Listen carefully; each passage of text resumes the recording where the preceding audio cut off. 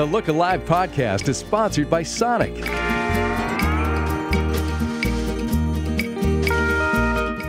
Maria Martin, Alex Glaze here for the Look Alive podcast, and it's been a really busy week at spring training. It's been very hot.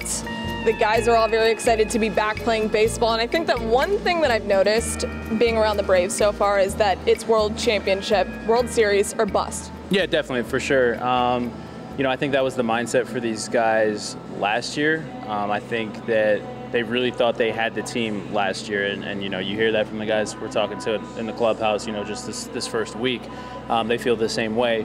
But you know, between injuries and you know just certain things, the, the way things transpired last year, obviously they, they didn't get it done. So they do have that that bitter taste in their mouth, um, and they are definitely ready to to get out there and get back to work for sure. Yeah, and Brian Snitker did say that the injuries were certainly something that plagued them a lot this season. Should they stay really healthy, it'll be a miracle, obviously. Baseball's a long season, but should they stay consistently pretty healthy, I think they have a really good shot. Well, the other thing, too, uh, you know, health obviously a, a big deal, but they have a lot of depth this year as well. Depth that they maybe didn't have last year. A lot of younger guys were put into roles maybe that they weren't used to last year. So I think now with that in-game experience, you know, we were talking to guys like um, Sean Newcomb, um, who was in the, the rotation last year uh, because he didn't earn a, a, rotation, or in the bullpen last year because he didn't earn a rotation spot. Right. Right. Uh, you know, he wants to to be up in Atlanta. He doesn't. He, he, made it very clear. He doesn't want to be being Gwinnett. Whether it's you know he wants he, he's going to be competing for one of those rotation spots.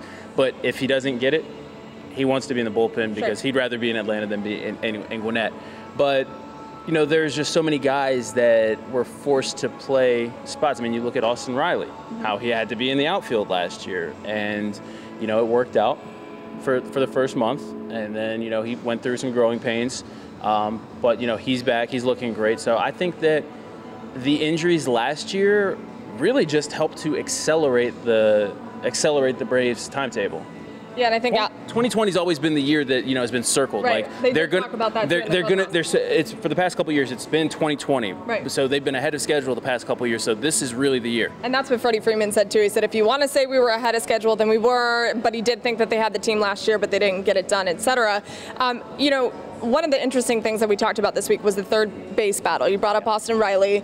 Uh, there is an ongoing battle at third base, and that should work itself out here in Florida over the next couple weeks. Johan Camargo shed 17 pounds in the offseason to try to get more athletic. And he looks fantastic. So now that Josh Donaldson is gone, they need a third baseman. It's going to be fun to watch those two guys, Austin Riley and Johan Camargo, duke it out. Absolutely. And the thing is, I mean, the, the big question is going to be can Johan Camargo get back to 2018 Johan Camargo? Because sure. that was a guy that was, I mean, he was he was great.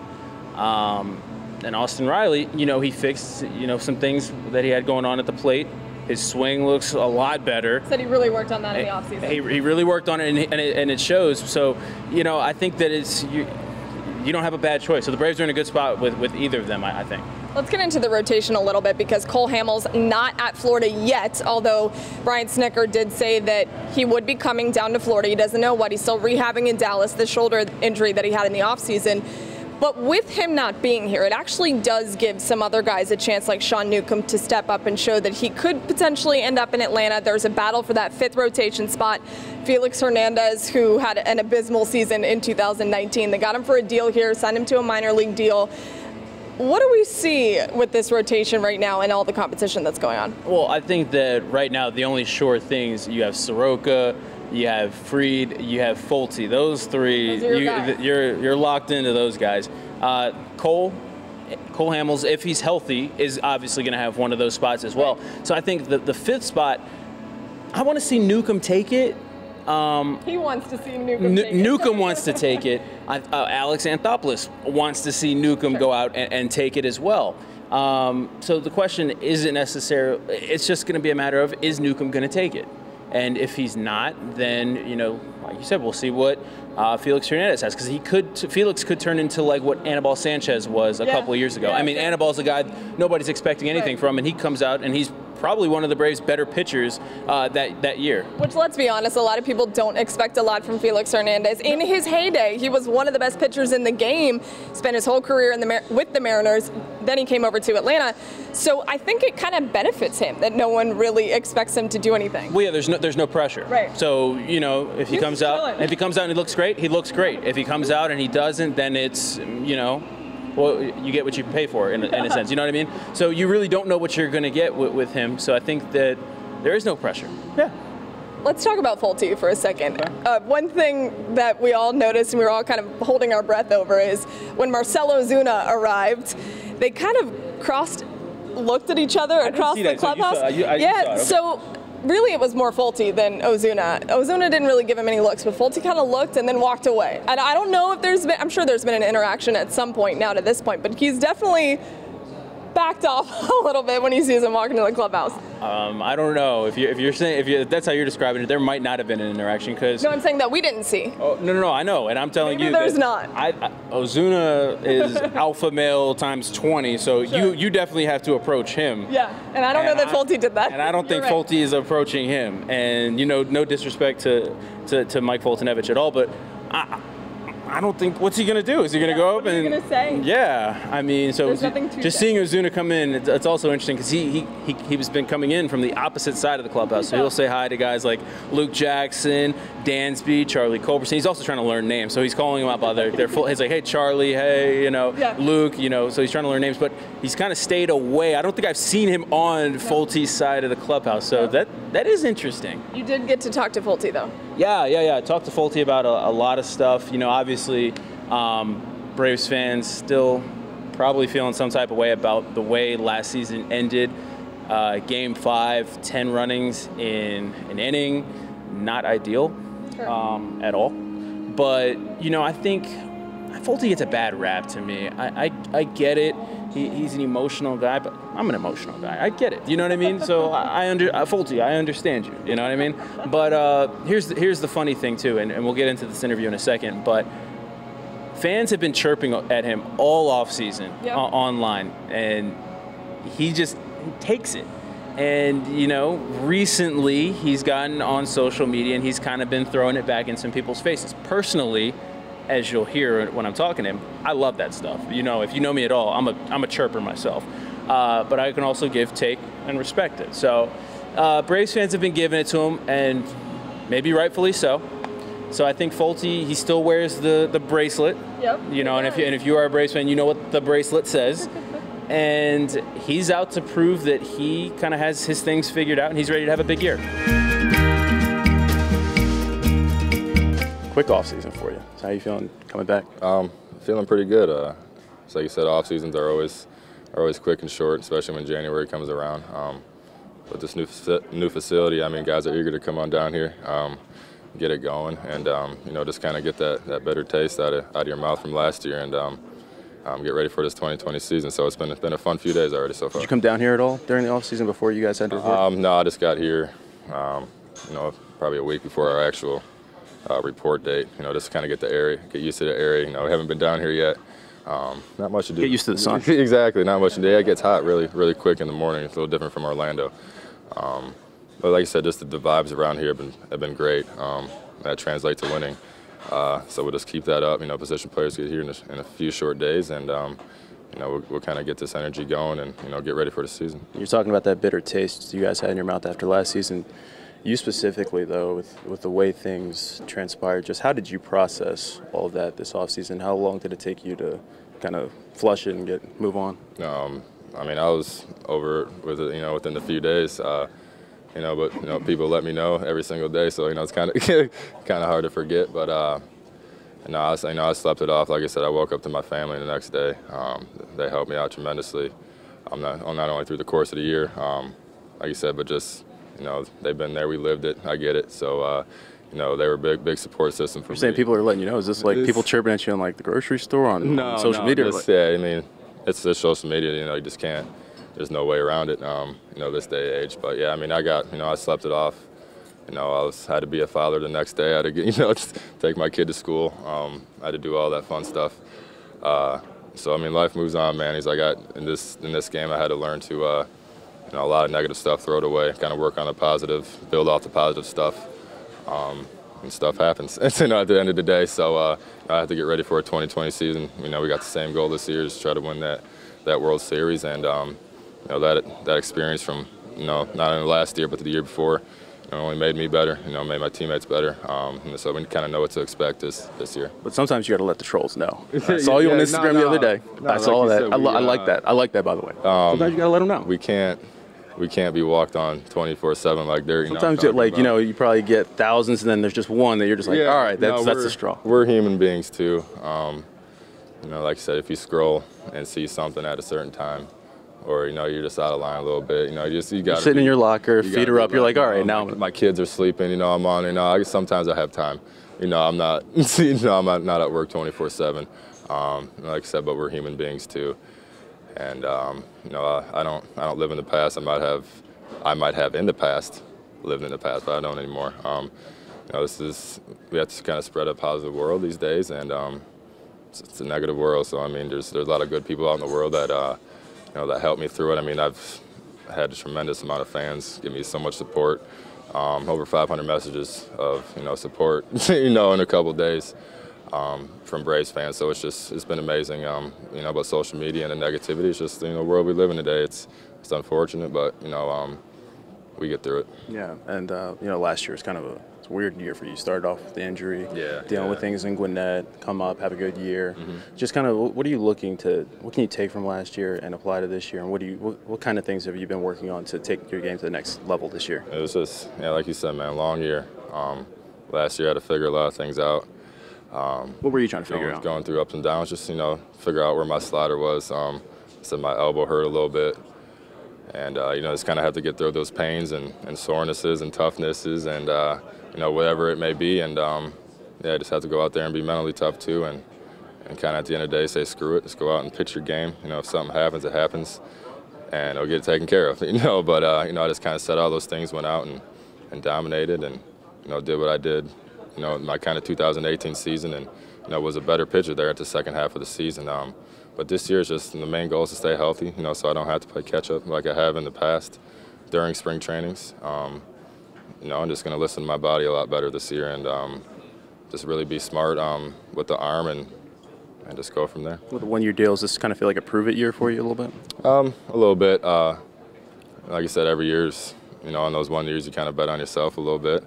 Um, you know, but that's the confidence you have to have in this game. Um, at the end of the day, you're not going to worry about no contracts or money or anything, and I'm just going to go out there and um, do my thing and go out there and perform the way I know I can, and, and that'll take care of all the other stuff um, at the end of the day. But uh, this is a great team, um, great friends, great pitching staff, um, great everything. So this is going to be a fun year for us, and you know we're just all, we're only excited to get that bitter taste out of our mouth and, and get that World Series in 2020. I, I like Folty. Yeah. I, I like him too.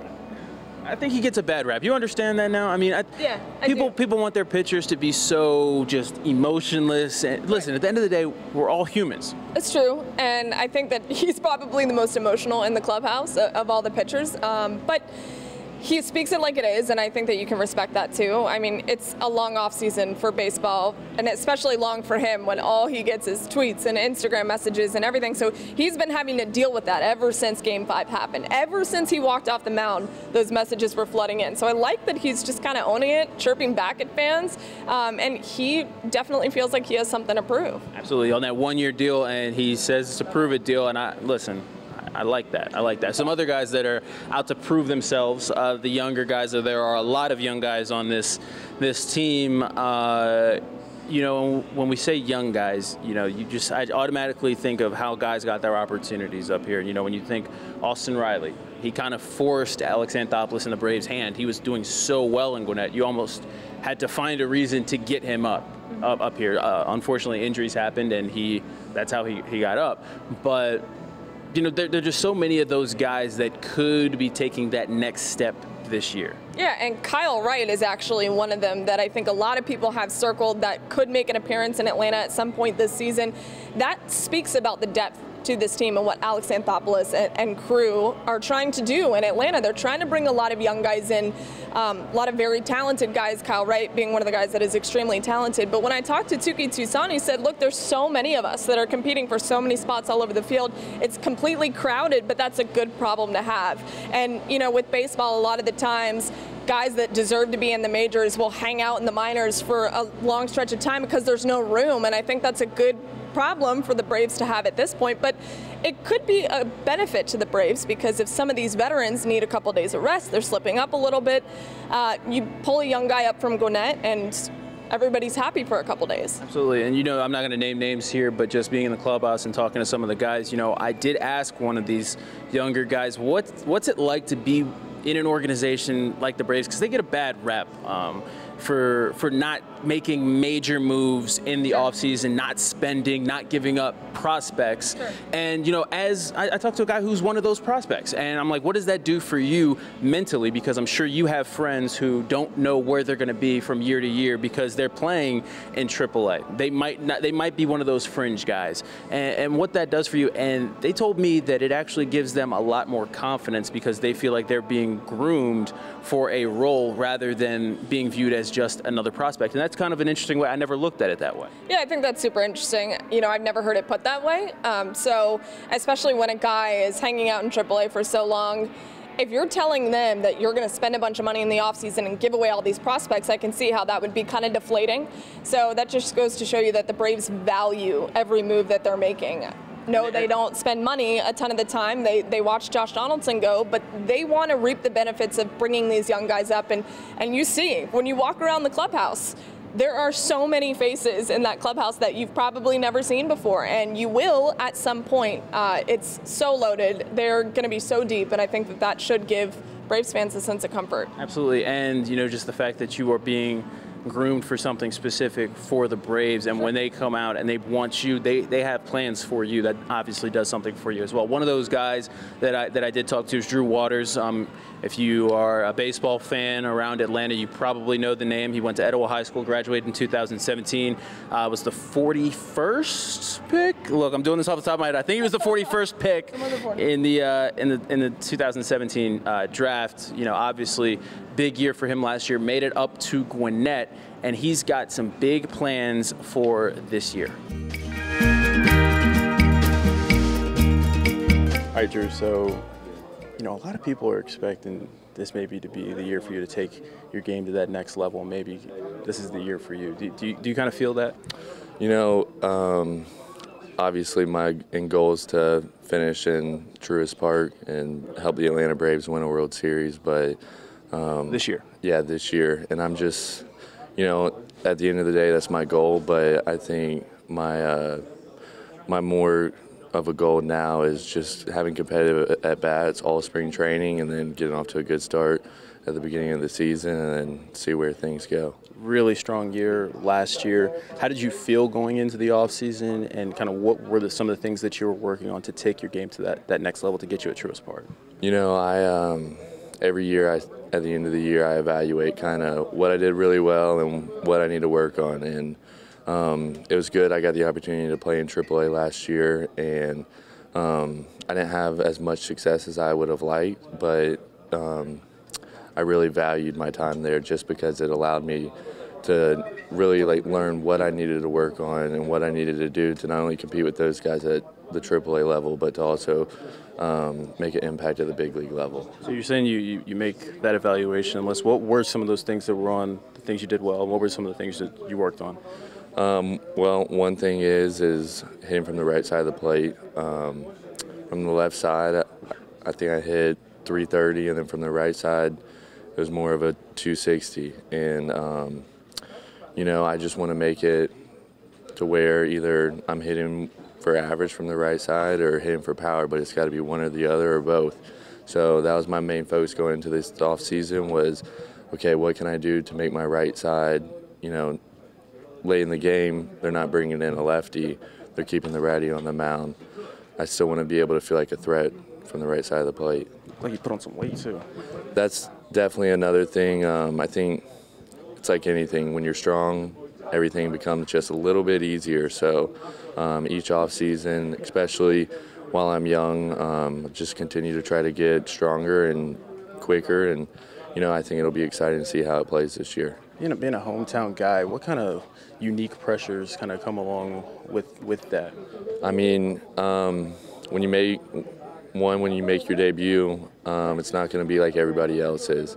Um, just playing more special. Yeah, playing in AAA.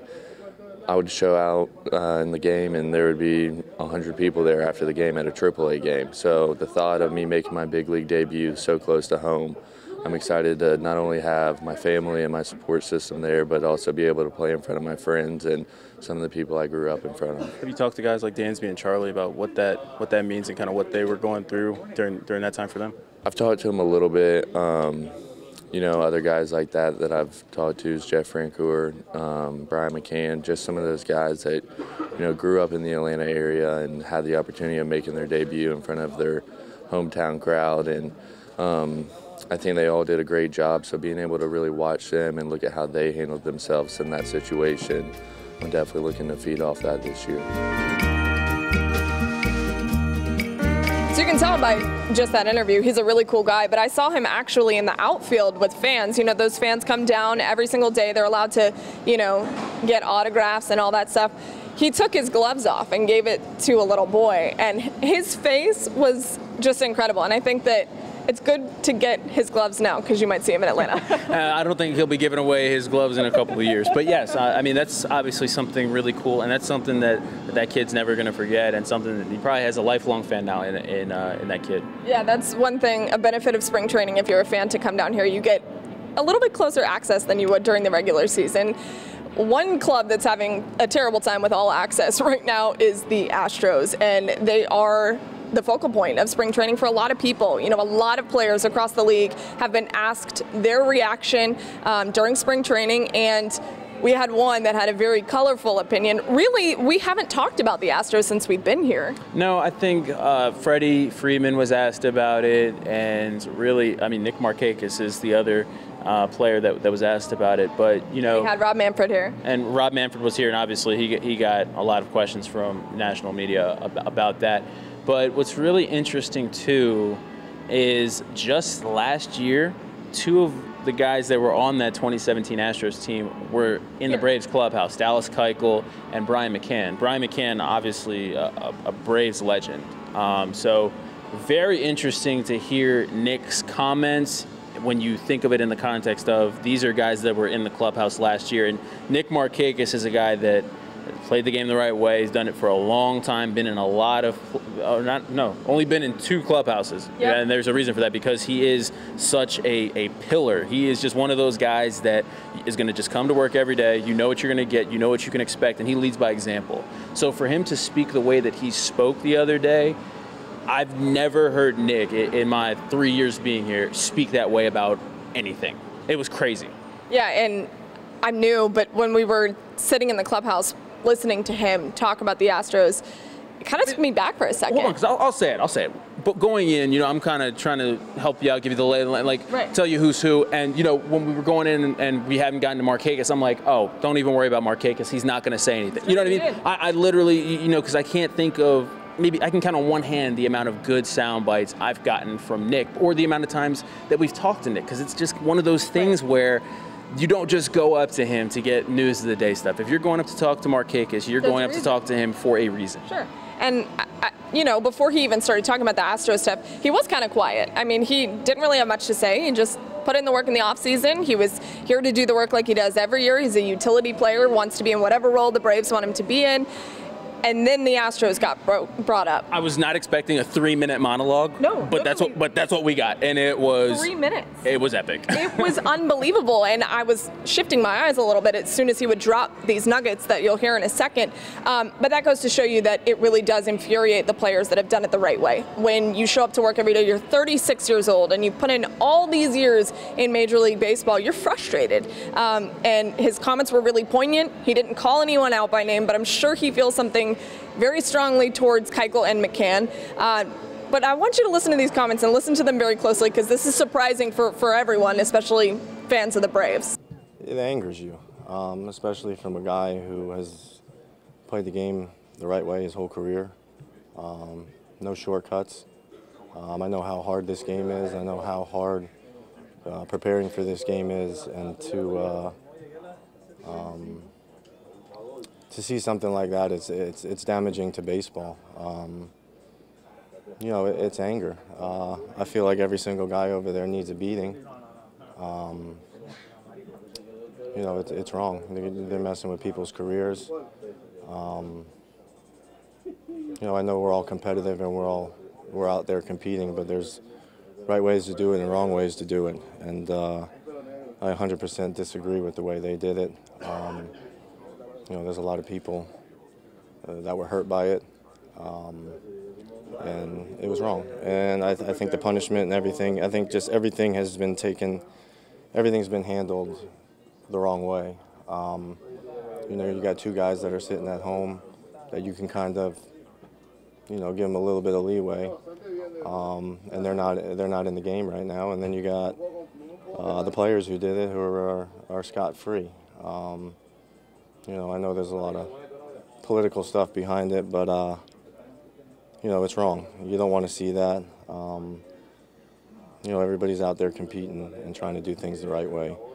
And when you got guys like that, it's uh, it's pretty sad. Um, you know, those guys have a lot of talent over there, but to take it to that level is uh, is wrong. You know, it's um, I know as players we we do not agree with what they did. We don't stand behind them, and never will we support them um, for their actions.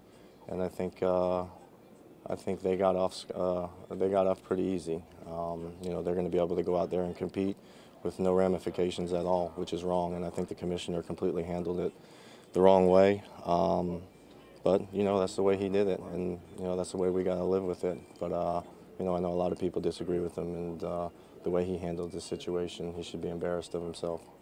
Nick, the way the fact that guys from Cody Bellinger to Mike Trout to you know, Freddie, it seems like a unified voice in condemning. Yeah, absolutely. You know what they did was bullshit. Um, you know they took a lot of uh, opportunities away from people, and uh, you know possibly ruined people's careers.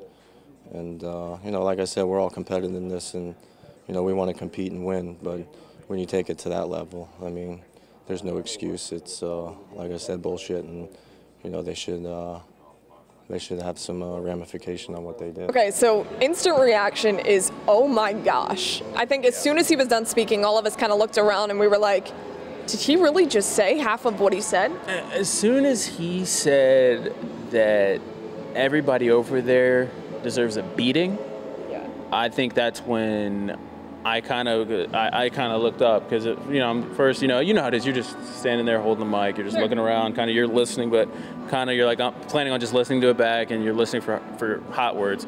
As soon as he said beating, everyone just kind of looked up Everyone perked up. and you know that just goes to show you that Nick feels very passionately about this. His lip was quivering the entire time. I've never seen him He was mad. uh, as emotional speaking about something as he was today. He was really Yeah, the yeah when he spoke, not today, but you know what I mean. Right, and you know, he was, I mean, he was frustrated. He was visibly frustrated, like you talked about, and I think he has every right to be. Brian Snitker was asked about it. He didn't hear the comments. Uh, they were on Twitter, they went viral. Well, hold on. So, so Dusty Baker also didn't hear the comments, but a, a reporter did bring them up, and Dusty. Dusty was a little bit more opinionated than Snick. Well, well, he, he, it's funny because he started off by saying, "No, I'm not, and I'm not going to comment on someone else's comments." Right. But you said Markakis said it.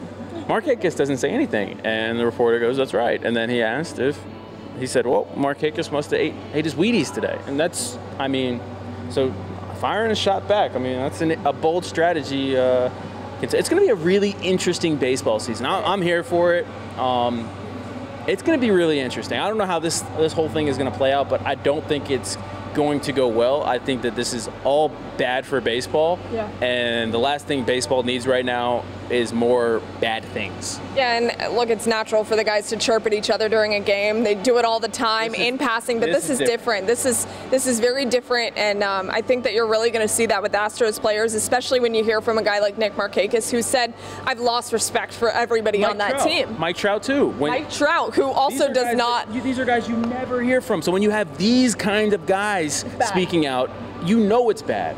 And and that's what I want people to remember is we already knew the sign stealing scandal was a big deal. We've blown it up. We're talking about it forever. But when we start to hear from the guys that we don't hear from, I think is when it really hits wow, this might be a season long thing. And I just want to finish on, on one note here because sure. I think the most important thing, the thing that everyone heard was the beating, and everyone's worried about how the Astros are going to be treated this year. And, you know, Rob Manfred is talking about no retaliation and how there are going to be strict punishments for, for, for uh, pitchers that throw at players this year. But the thing that Nick brought up that I think is the most important thing is how this affects guys and the trajectory of their career. Yeah. Think of a, a, a pitcher who's getting his first shot at, at the big leagues and he's going up against the Astros and gets rocked. And that changes his entire trajectory of his career. Or you have guys like Aaron Judge, who maybe you could argue got robbed of an MVP as a result of this scandal. Right. That is something that in future contract negotiations is going to cost him money. You have teams that maybe you had a shot at playoffs or World Series or All Star or you know things of that nature, and that affects people's pockets. And then you have those players again that are those fringe guys that are affected by all this. So I think that that, that was the most important stuff that I, I don't think enough people are talking about. There's a whole lot of smaller, not big name baseball players that were really affected by this that probably I, I, don't know that, that maybe never recovered from it. Yeah, and I think that we're going to see that transpire this year. How bad this truly is and was for baseball. You're really going to see that the Astros really did affect not just themselves, but really the entire league. It, it, has been such a great week here in North Port, Florida for spring training. The Braves, high expectations for the season. We'll be back next week with more on the Look Alive podcast, and you can download it wherever you get your podcasts. The Look Alive podcast is sponsored by Sonic.